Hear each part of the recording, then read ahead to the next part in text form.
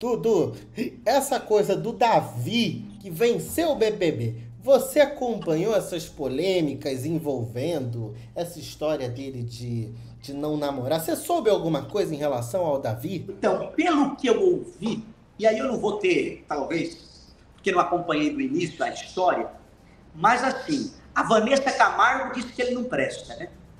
Hein? É, a Vanessa. Que ele não prestava. E eu vou com ela, porque eu conhecia a Vanessa Camargo quando eu fiz o Teleton. Eu fiquei no palco apresentando junto com a Vanessa Camargo num determinado Teleton. E assim, a Vanessa me pareceu uma, uma menina tão simpática, e ainda tem algo a mais, né? Porque igual de Camargo, nós somos semelhantes em relação a isso. E assim, ela ter falado que ele não presta, já me levantou a orelha para falar: opa, a opinião dela para mim vale bastante coisa, eu acho que ela está com a razão mesmo. Segundo ponto, quando teve a final do BBB, eu nunca gostei de reality, nunca acompanhei a chatice, mas essa final do BBB, eu acompanhei que ia ser numa terça-feira e tal, e eu decorei isso e assisti a final, peguei lá o, o, o, e comecei a assistir, e pela primeira vez eu votei num reality show, e votei para a menina de Manaus, na final. Pra e aí, eu já não tinha ido com a cara desse Davi apesar de ver na pesquisa que ele estava liderando. E aí depois acontece essa situação toda dele jogar para longe a atual companheira e viver, viver a vida dele. Uma coisa é fato, ninguém é obrigado a ficar com a outra pessoa, tem disso também. Se ele decidiu não ficar mais com ela, ó, avisa ela, como me parece que aconteceu, uma conversa entre eles, de que ele falou, não, quero mais e tal, e, e acabou. Então, é um direito dele escolher. Agora, esse negócio aí, esses, esses, muitos que criticam ele, que falam assim, ah, o Davi fez errado, mas é muito pior na vida particular e pessoal. Então, antes de criticar o outro, olhe para a tua vida, olhe para você, o que, que, você pode mudar na tua vida. Antes de querer mudar no próximo, mude a tua vida, olhe para a tua vida. E o Davi, é, é, apesar de ter os defeitos, não, não foi voto meu, eu nem votei nele, votei na, na menina de Manaus na final, é, é para ganhar. Mas deram a vitória para ele, porque pegaram a historinha do garoto humilde, que foi batalhando, batalhando, estava no reality show, foi indo até a final e tal. Pegaram muito nessa história. E aí ele se deu bem. Mas também tem que ver o caráter da pessoa. Nisso aí que ele fez com essa atual companheira, a coisa foi bem complicada na análise de caráter dele, mas ele faz o que ele quiser a vida dele. Tá, é isso, esse, esse é o problema, que é isso que está variando as opiniões, porque de um lado tem isso aí em relação à namorada dele, a, a ex-esposa, enfim, que seja, mas no outro lado tem boatos, informações de que familiares dele estariam se aproveitando dessa fama para tentar ser política, né, já tem a informação de que a mãe dele estaria prestes a se candidatar como vereadora lá em Salvador. Tem outras pessoas que usaram a imagem dele prestes a sair do Big Brother.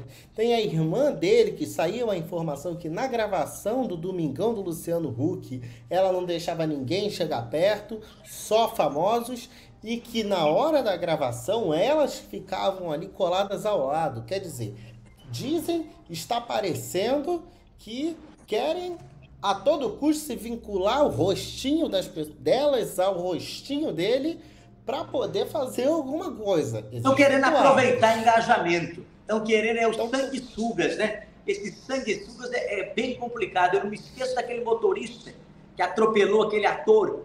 Não. O Kaique Brito? O Kaique Brito. Aquele cara fez um escarcel, ai, bateu no meu carro, ai, que quebrou meu carro, fez uma vaquinha lá, ganhou 200 mil reais com a vaquinha.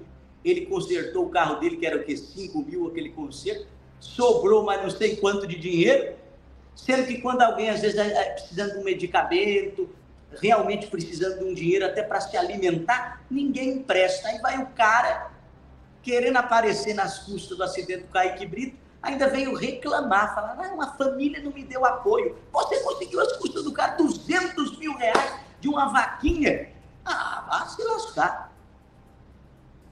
Agora, eu tô cheio de pergunta para você. Eu tô ainda virou, Ô, Nicolas, ainda, ainda virou pré-candidato a político. O cara isso. querendo se aparecer. Era esse o ponto. Era isso que eu ia falar. Virou pré-candidato, que é o que estão dizendo, que, tá, que, que é o que está acontecendo com a mãe do Davi, que já está pré-candidata, que já está vinculada a partido, né? Que já está filiada a partido lá, que já, tá, que já esteve com pastor de não sei o que, que já é vereador de não sei o que lá em Salvador.